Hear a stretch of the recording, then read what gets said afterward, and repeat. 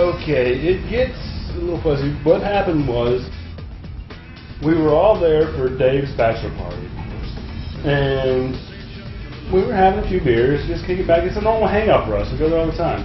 And uh, Chief saw this really hot chick playing pool, so he's hitting on her by playing pool against her. And while he's playing pool with her, her boyfriend is getting more and more pissed because she's not very subtle, I guess.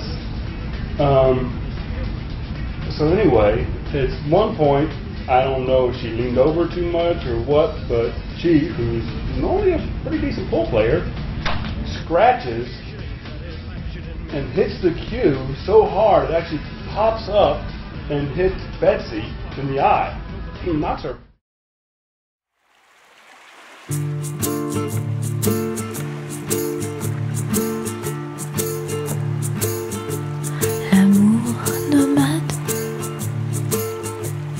Et vagabond, ce n'est qu'un dirigeable vers l'horizon. L'amour poème s'en fout fou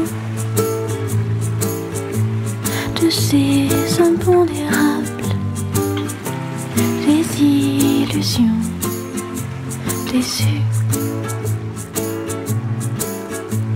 des pactes scellés qu'on avait rompus. Des idées qu'on croyait reçues.